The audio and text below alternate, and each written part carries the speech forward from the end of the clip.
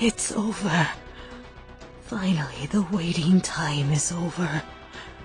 I will finally return with my precious son.